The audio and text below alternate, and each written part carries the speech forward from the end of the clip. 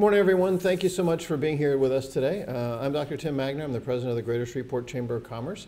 And on behalf of uh, Renew Shreveport, the Shreveport Bossier African American Chamber, the Greater Shreveport Chamber, and uh, BRF, we want to welcome you to our uh, press conference here this morning. Uh, we are a group of uh, organizations and individuals who are uh, coming out today in support of the bond election that will be held at the end of April.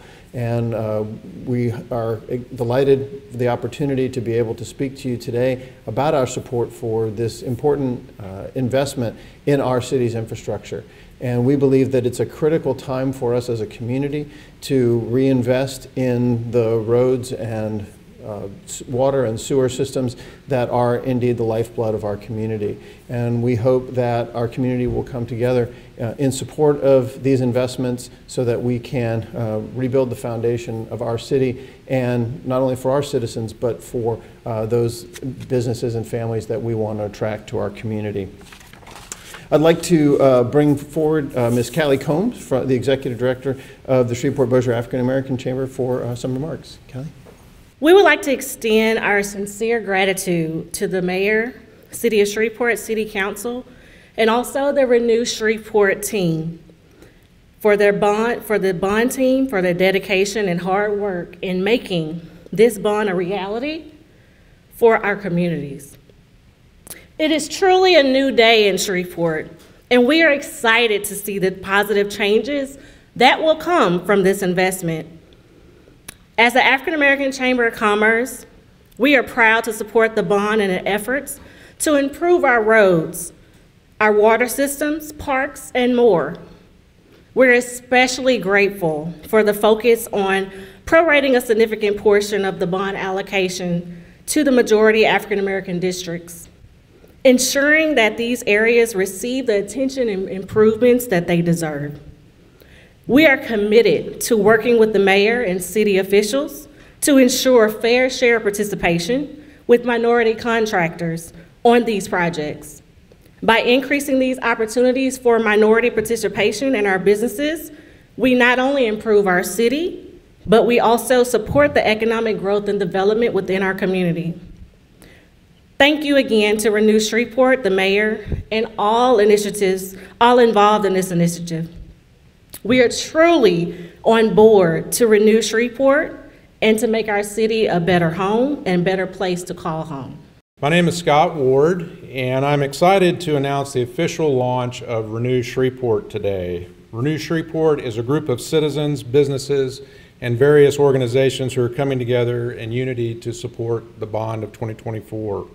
Our mission is to educate the public on how this bond will impact our citizens, how much it's going to cost us over the, the next few years, and uh, how we're going to, uh, to basically uh, uh manage this bond that's going to be different than the bonds before it. So that's, that's a key point to Renew Shreveport is to, to get this information out to the public.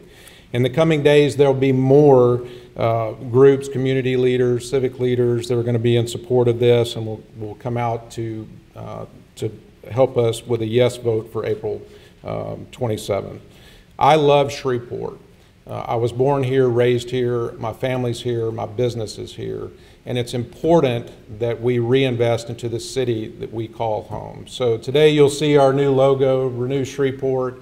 Uh, our website is renewshreveport.com. So I would encourage you to go to that website and pledge your support for this initiative. So remember to get out and vote yes for all three propositions on April 27th. And if there's anything that we can do, we'll, we'll stay after this for any questions. Thank you so much. And now uh, we have a, a, video message from uh, Council President uh, from and uh, District E Representative uh, Dr. Alan Jackson. But I do want to share some comments.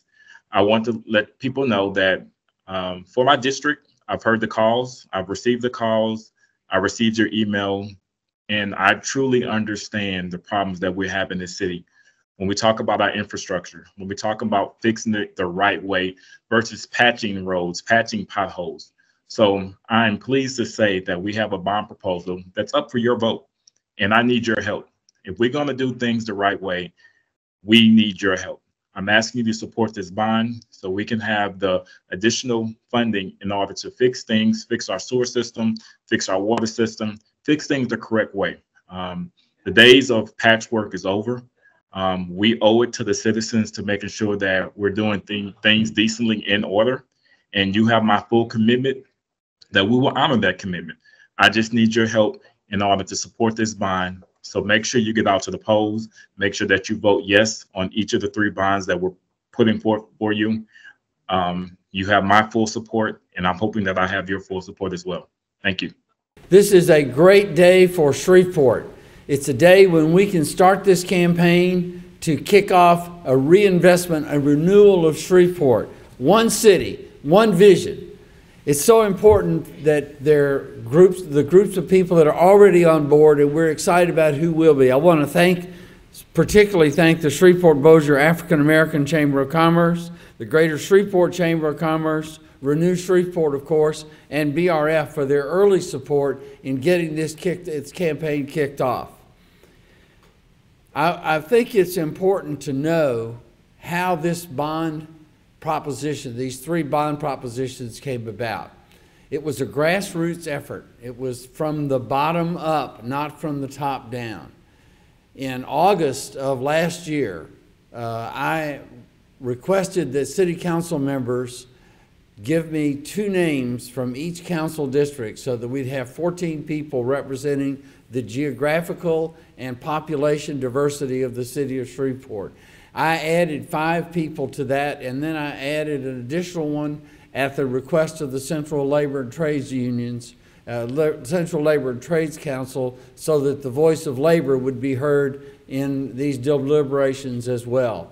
These 20 people then held numerous public meetings. All of their meetings were open meetings, and they held numerous meetings, including several, four at least, listening sessions. So what they did was they took some of the projects that the department had said were, were priorities for them or needs for them, and they added to that their own ideas. Then they added to that the ideas of the uh, people that they heard from in the community. After they did that, they had a list that was way too big to ask the voters to approve. It was over $450 million. So they then began the process of setting priorities, and I am pleased to say that their priorities were based on need, not politics. And that's the most important part of what we're dealing with today is that these recommendations that the council is making and that, that the Citizens Committee made are based on need. They're not based upon, uh, upon politics. I think it's important to note that when you look at, and you'll be seeing information about this throughout the campaign, when you look at the division among, even among the council districts, even though that was not something that was a specific goal of the committee or of the city, it is very evenly spread among the districts and as well as some very significant projects. There's $125 million in street and drainage projects, all, almost all of which is surface, surface work. The drainage part of it is a replacement of four bridges uh, that desperately need replacement for water flow to go under them. But there are streets all over the city of Shreveport. Uh, you'll be seeing in the presentations that I'll be making, and I plan to make as many presentations as people will let me make uh, in the city of Shreveport. I'll be joined by various council members. I'm delighted that Grayson Boucher is here today. Uh, I, am sorry that Dr. Jackson couldn't be here, but as you know, he is in full support uh, of this. I believe that uh, Councilman Bowman will be supportive uh, of this. She's under the weather today, so she was not able to be here. I spoke with her this morning. One of the most important things to know about these projects is that we have committed to the engagement of water board pro program managers who will oversee the, the, uh, the work. They will supervise the work to make sure that the work is done in a way that moves the projects along. What we hope to do is when, when these bonds are passed, it'll take us about six months uh, almost six months to actually get the first money on the books. But once we get that money on the books, our goal is to have these projects completed within a five-year period, a very short time. Uh, So we, we are committed to that. I, I want to make sure that you understand, I, I, I think it's, that this little chart I've given out, it's the last page in the information that I, that I gave to the press. This chart says a lot about where we are in Shreveport. The chart shows the total property tax millage for the city of Shreveport. It shows the debt service millage for the city of Shreveport, and then it shows the operating millage. If you look at the blue line, which is the operating millage, you'll see that it has been flat since 2003. So that is the money that pays for streets, drainage, not reconstruction, just the maintenance of your streets, drainage, police, fire. Your basic city services are provided by that. The green, the green is the total, as you can see, the green millage drops almost every year from 2003 until 2000, this chart goes to 2026. And the reason for that is the orange. The orange is the debt service millage. When we started in 2003, debt service millage, the, the amount of property tax millage that's dedicated to paying off bonds was over 30 mills. It's now down to just over 10 mills. What that means is, since 2003, we have been proportionately and consistently investing less and less and less in the infrastructure of our community. That's why it shows that we've been committing less and less and less to the infrastructure. It is time to reverse that process. Now, the good news about that is, in reversing that process, because of really the wisdom of our bond counsel and, and the other team members, we are able to do this with no anticipated property tax increases for, for 2024, 2025, or 26. And then some small increases, that's on the next to last page of that handout, some small increases in 27 and 28. So although this does involve some additional taxes in 27 and 28 and years after that, there are no new taxes in 2024, 2025, and 26.